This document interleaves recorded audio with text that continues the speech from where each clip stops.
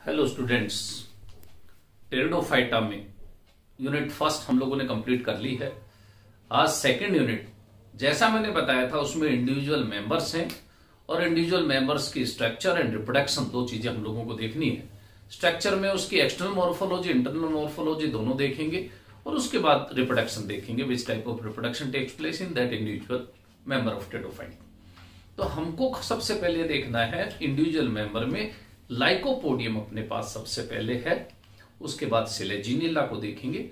तो सबसे इंपॉर्टेंट चीज़ एक तो ये रहती है इंडिविजुअल मेंबर में कि उनकी सिस्टमेटिक पोजीशन क्या है।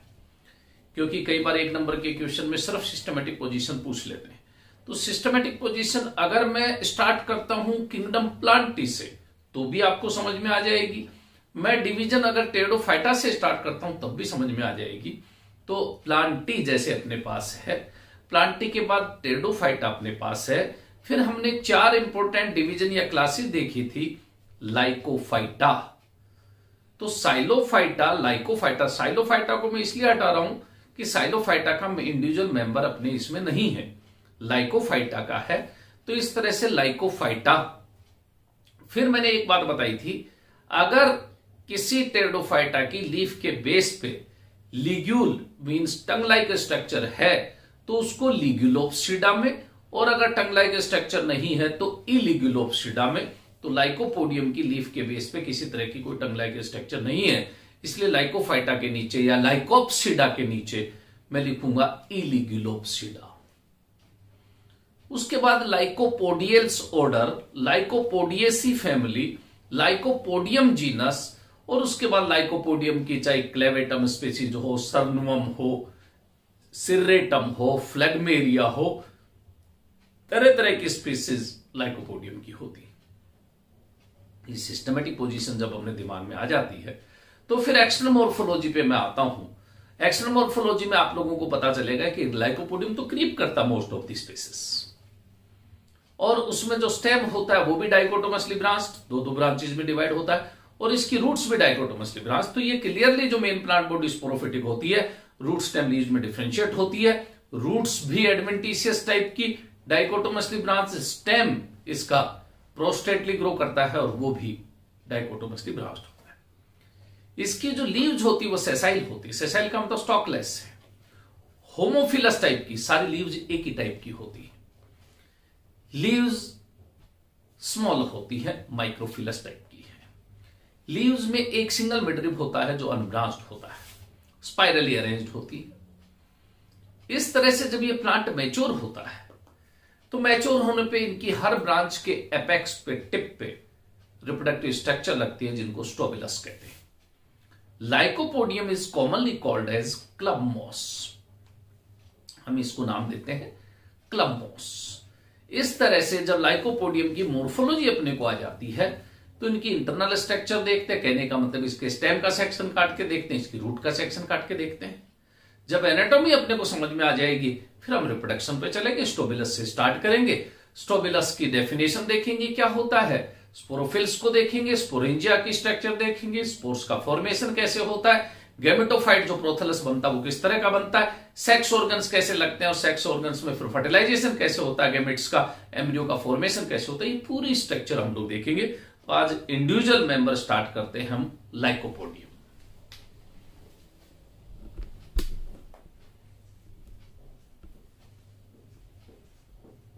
ये लाइकोपोडियम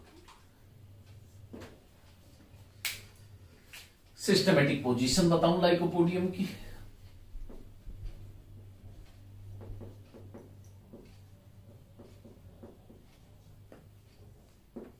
जिसमें Lycopsida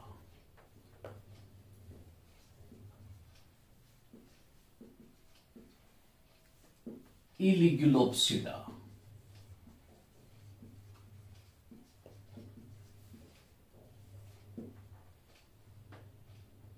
Lycopodiales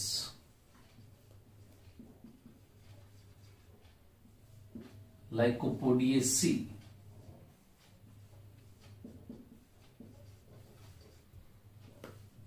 Lycopodium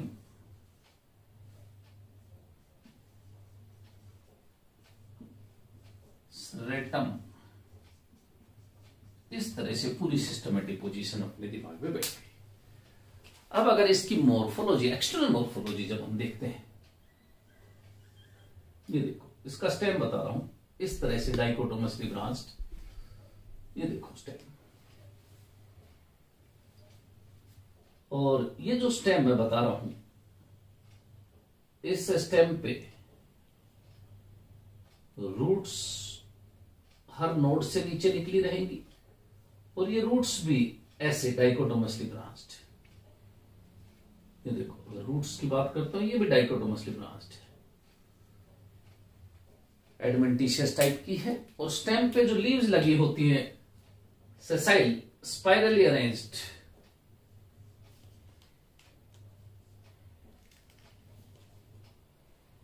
माइक्रोफिलस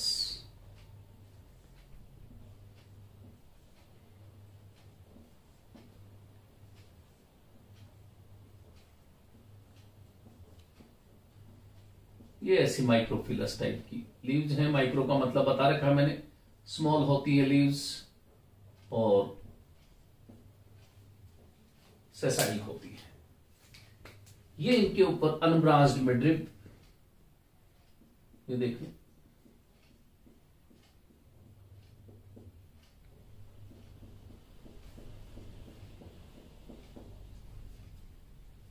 अगर मैं लेबलिंग करना चाहूँ तो ये एडमेंटिशियस रूट्स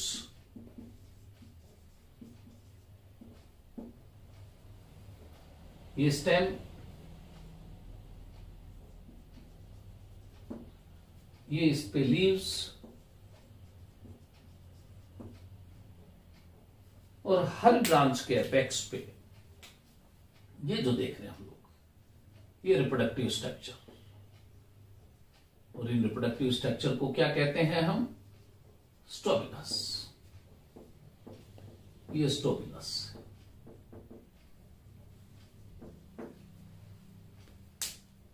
तो इसकी मोर्फोलॉजी में क्या क्या चीज़ें अपने को समझ में आ रही हैं? देखो, एक एक पॉइंट जो हम लोग पहले भी देख चुके main plant body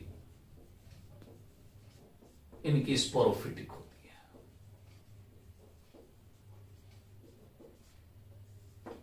main plant body root stem leaves में डिफ्रेंशिएट होती है। देखो इधर।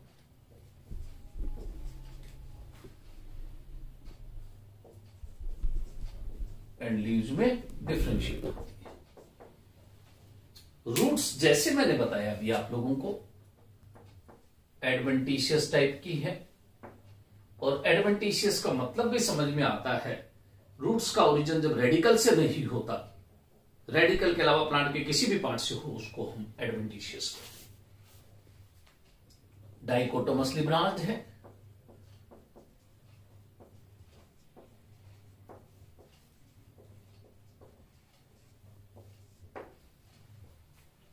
बिल्कुल इसी तरह स्टेम की भी जब बात करते हैं प्रोस्ट्रेट है। ये भी डाइकोटोमसली ब्रांच है। और ये जो लीव्स है, ये सेसाइल होती है। माइक्रोफिलस है।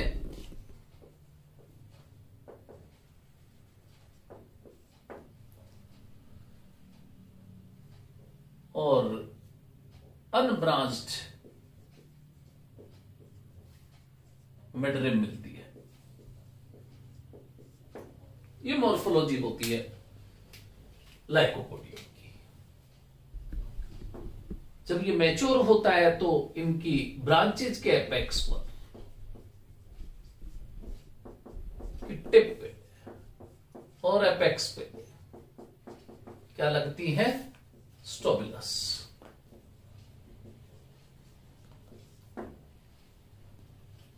लेकिन जब हम इनकी इंटरनल स्ट्रक्चर मींस एनाटॉमी देखते हैं तो एनाटॉमी में ट्रांसफ़र सेक्शन ऑफ़ स्टेम देखें और एक ट्रांसफ़र सेक्शन ऑफ़ रूट देखें। तो मैंने जब स्टीलर सिस्टम कराया था, जब भी आपको एक बात बताई थी कि लाइकोपोडियम की कौन सी स्पीसीज है, इसको पहचानना हो तो उसके स्टेम का सेक्शन काट लो। क्लियर कट अपने को समझ में आ जाएगा। याद करो, मैंने कहा था लाइकोपोडियम की अगर रेटम स्पीसीज है, लाइकोपोडियम की अगर क्लेवेटम स्पीसीज है, लाइकोपोडियम की अगर सरनोम स्पीसीज है तो इनको पहचानने के लिए मैंने बताया था। कि एक्टिनोस्टील अगर अपने को देखनी हो तो इस स्पीसीज में मिलेगी। प्लेक्टोस्टील अगर अपने को देखनी हो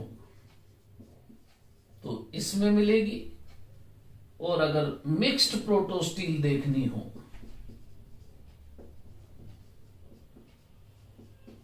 तो पर्टिकुलर इस स्पीसीज में मिले कहने का मतलब स्टील से हम आइडेंटिफाई कर सकते हैं। सबसे बाहर अपने को ट्रांसफ़र सेक्शन में एपिडर्मिस दिखेगी।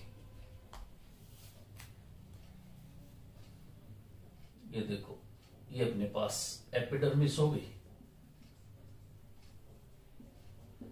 इसके बाद जो कोटेक्स होता है, वो कोटेक्स थ्री रीजन्स में डिफ्रेंशिएट होता है और इनरमोस्ट जो लेयर होती है उस कोटेक्स की उसको हम एंडोडर्मिस नाम देते हैं, आप लोग जानते ही हैं।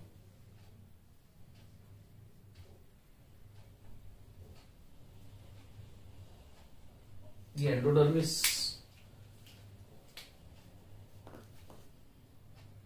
ये पेरीसाइकिल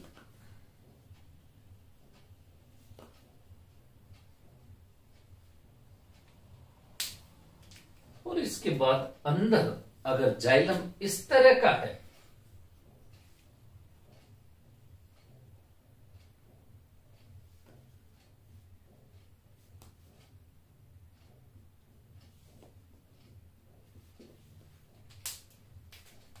कहने का मतलब स्टार शेप्ड है इस तरह का। तो ऐसी स्टील को हम एक्टिनो स्टील कहते हैं। प्लेट्स में पैरेलली अरेंज्ड हो तो उसको प्लेक्टो स्टील कहते हैं और अलग अलग पैचेज में हो तो मिक्स्ड प्रोटो स्टील कहते हैं। इस स्टील से पता चलता है कि सेरेटम की स्पीसीज है। अब देखो ये जो कोटेक्स है it is differentiated into three region किसमें? आउटर कोटेक्स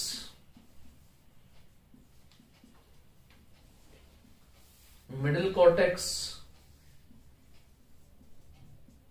और एक inner cortex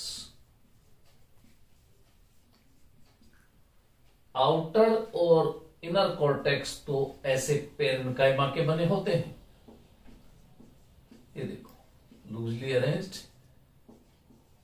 thin walled parenchymatous cells के।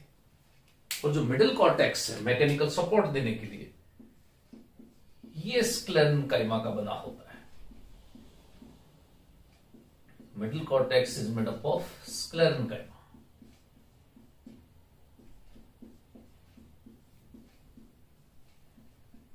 Thick wall dead cells होती हैं ये लिग्निफाइड और ये स्क्लेरन काइमा। और इनर कॉर्टेक्स फिर पेरनकाइमा का बना होता है। थिन वॉल्ड है लूजली अरेंज्ड है लिविंग है। इंटरसेलुलर स्पेसिस हैं। ये इस तरह के स्ट्रक्चर अगर हम लोग देखते हैं ये तो क्या हो गया? जाइलम ये क्या हो गए? फ्लोएम ये क्या हो गई? एंडोडर्मिस और ये क्या? पेरीसाइकिल ये हो गई अपने पास स्टेम की स्ट्रक्चर ट्रांसफ़र सेक्शन इसके कंपैरिजन में अगर रूट का ट्रांसफ़र सेक्शन काटते हैं तो रूट में भी एक तो ये एपिडर्मिस दिखेगी ये अपने को। ये देखो। इस पे रूट हेयर्स दिखेंगे यूनिसेलुलर ये रूट हेयर्स स्टील की जब बात होती है, इसमें प्रोटोस्टील तो है, लेकिन इंपॉर्टेंट चीज़ होती है जाइलम कैसा। ये एंडोडर्मिस ऐसी ही जैसी मैंने इसमें देखी थी। उसके बाद ये पेरिसाइकिल स्ट्रक्चर ऐसी ही होगी। और इसका जो जाइलम होता है, वो डाई आर्क टाइप का। और उस डाई आर्क में ये इस तरह की सी शेप, इस तरह की सी शेप, या यू शेप, या इन्वर्टेड यू सेप ऐसा हो सकता है। तो मोस्ट ऑफ़ द कंडीशंस में इस तरह की इन्वर्टेड यू शेप्ड जाइलम होता है। और इस जाइलम में दो स्ट्रैंड जाइलम के दिखते हैं। इसलिए इसको कहते हैं हम डाई आर्क टाइप का। ये देखो। ये दो स्टैंड, ये प्रोटोजाइलम प्रोटोजाइलम, ये मेटाजाइलम। और इसके अराउंड ये फ्लोएम होगा ही।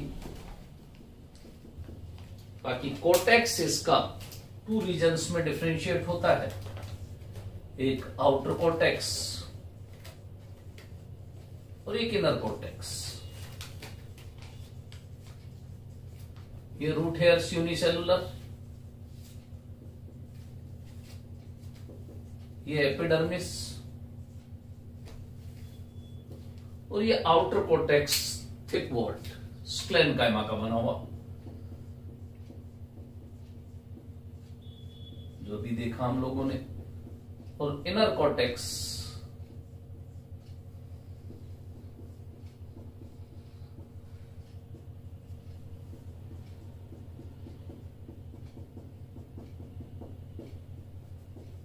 पेरनकाइमा का या फिर कुछ स्पीसीज में हम लोग उल्टा देखें पेरनकाइमा का और ये thick walled inner cortex parenchyma का लेकिन एडोडर्मिस और पेरिसाइकिल और ये जाइलम का स्टैंड इस कंडीशन को हम जिसमें दो प्रोटोजाइलम के स्टैंड दिखते हो डाइआर्क जाइलम कहते हैं। तो ऐसी इनकी इंटरनल स्ट्रक्चर होती है। स्टेम और रूट की। अब अगर हम लोग बात करें इनके रिप्रोडक्शन की। जब रिप्रोडक्शन देखते हैं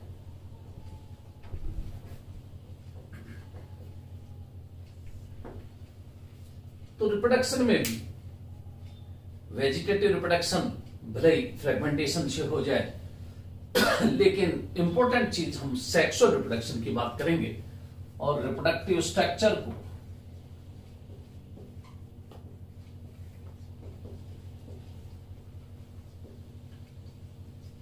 क्या नाम देंगे? Strobilus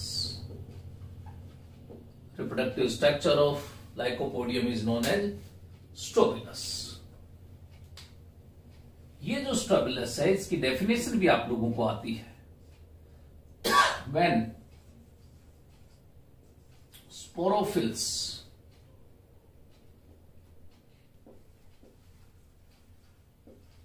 arranged compactly. And they form a cone-like structure. तो उसको नाम देते हैं हम स्टोकस तो जब सारी स्पोरोफिल्स कॉम्पैक्टली अरेंज होके, ये देखो ये ऐसी कॉम्पैक्टली अरेंज होके कोन लाइक स्ट्रक्चर बना लेती है तो उसको स्टोबिलस कहते हैं। इंपॉर्टेंट चीज़ आपको कब समझ में आएगी? जब इस स्टोबिलस का मैं एलस काट दू। एलस का मतलब भी आप समझ जाएँगे। मतलब इसका लोंगिट्यूडनल सेक्शन में काट दू। तो आपको ये अरेंजमेंट बहुत अच्छे से दिख सकता है। ये देखो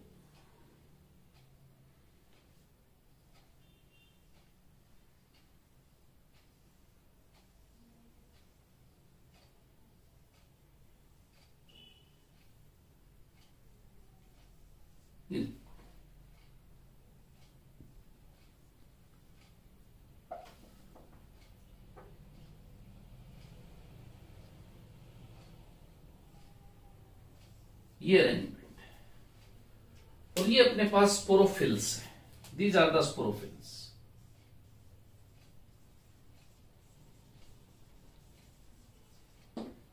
ये स्पोरेंजिया है।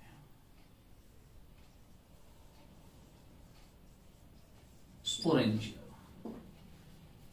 और इस स्पोरेंजिया के अंदर जो बनते हैं, ये स्ट्रक्चर जो आपको दिख रही है, ये स्पोर्स है। और सारे स्पोर्स सिमिलर साइज़ के हैं, इसलिए आप लोग बहुत अच्छे से बता सकते हैं कि ये होमोस्पोरी टेडोफाइटा है। It is homosporous type of pteridophyta. तो ये क्या है? स्पोर्स अगर ये हिट्रोस्पोरी होता ना तो मैं इनको माइक्रोमेगास्पोर्स कहता, माइक्रोमेगास्पोरेंजिया कहता, माइक्रोमेगास्पोरोफिल कहता तो इस तरह से ऐसी लॉन्गिट्यूडिनल सेक्शन होता है किसका स्टोबिलस का? और ये स्पोरोफिल्स की अडेक्शियल सरफेस अपर सरफेस पे स्पोरेंजिया लगी होती है। याद रखने की बात यह है कि स्पोरेंजिया का डेवलपमेंट कैसे होता है? ऐसा कोई क्वेश्चन आ जाए डेवलपमेंट ऑफ़ स्पोरेंजिया बताओ इन लाइकोपोडियम तो सबसे पहले पता है क्या आंसर देंगे आप लोग? सबसे पहले ये आंसर देंगे कि स्पोरेंजियम का डेवलपमेंट यूस्पोरेंजियट टाइप का होता है। कैसा? यूस्पोरेंजियट टाइप का। इसका मतलब भी आना चाहिए when sporangium develop from group of superficial initial cells when sporangium develops from group of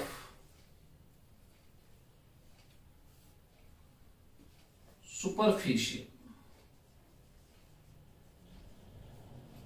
initial cells sporangium का डेवलपमेंट जब कहने का मतलब ग्रुप ऑफ़ सेल से होता है। यू स्पोरेंजिएट कहलाता है। इनमें से अगर मैं एक सिंगल स्पोरेंजियम लू ये मतलब वो सिंगल इनिशियल सेल हुई। हालाँकि ग्रुप होता है, लेकिन उस ग्रुप में से मैं एक सेल में कैसे डिवीज़न होता होगा, मैं उसमें डिवीज़न लेके आपको बताऊँ। तो देखो, एक में सबसे पहले पेरिक्लिनल डिवीज़न कराता हूँ। बिल्कुल ट्रांसवर्स डिवीज़न के जैसा होगा। तो ये तो प्राइमरी पेराइटल सेल बनेगी। और ये प्राइमरी स्पोरोजिनस सेल बनेगी। बहुत ज़्यादा दिमाग लगाने की ज़रूरत नहीं है। इस प्राइमरी पेराइटल सेल में periclinal division and anticlinal division दोनों साथ होते हैं तो एक थ्री लेयर्ड स्ट्रक्चर बनती है। और उसको हम स्पोरेंजियल वॉल कहते हैं। Sporangial wall. और इन टेडोफाइट्स में ये स्पोरेंजियल वॉल डिफ्रेंशिएट रहती है थ्री लेयर में। Outer sporangial wall inner sporangial wall और इनर मोस्ट स्पोरेंजियल वॉल को हम टेपिटम कहते हैं। इस तरह की थ्री लेयर स्ट्रक्चर और प्राइमरी स्पोरोजिनस सेल में सारे के सारे इरेगुलर डिविजन्स होते हैं। और इरेगुलर डिवीज़न से स्पोरोजिनस टिश्यू बनता है। अगर मैं आपको एक स्ट्रक्चर समझाऊं किसी भी एक इस स्पोरेंजियम की तो देखो ध्यान से, ये मेरे पास स्पोरेंजियम ये मेरे पास स्पोरोफिल तो इस स्पोरेंजियम की ये वॉल ये आउटर वॉल स्पोरेंजियल वॉल ये देखो, ये इनर स्पोरेंजियल वॉल ये देखो, ये इसका tapetum innermost layer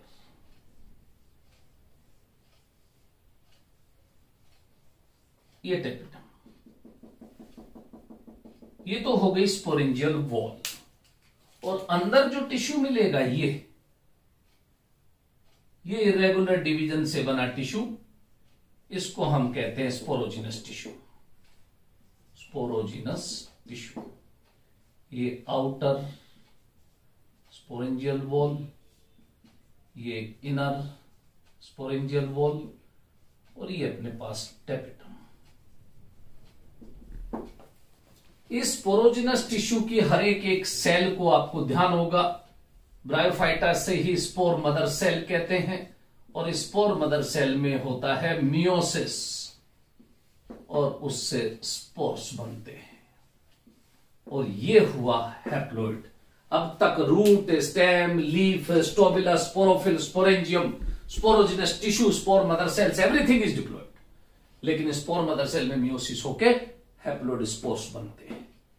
And spore is the first cell of gametophyte इस स्पोर के जर्मिनेशन से ही गेमेटोफाइट बनेगा। अब तक ये सारी चीज़ें इस प्लांट पे कहा हो रही थी? स्टोबिलस में। और यहाँ से स्पोर सॉइल में चले जाते हैं। और वहाँ जाके कैसा गेमेटोफाइट बनाएँगे? गेमेटोफाइट किस तरह का होगा? सेक्स ऑर्गन्स कैसे लगेंगे? फर्टिलाइजेशन कैसे होगा? एम्ब्रियो का डेवलपमेंट कैसे होगा? पूरे लाइकोपोडियम की लाइफ साइकिल क्या है? ये नेक्स्ट टर्न पे देखेंगे। Thank you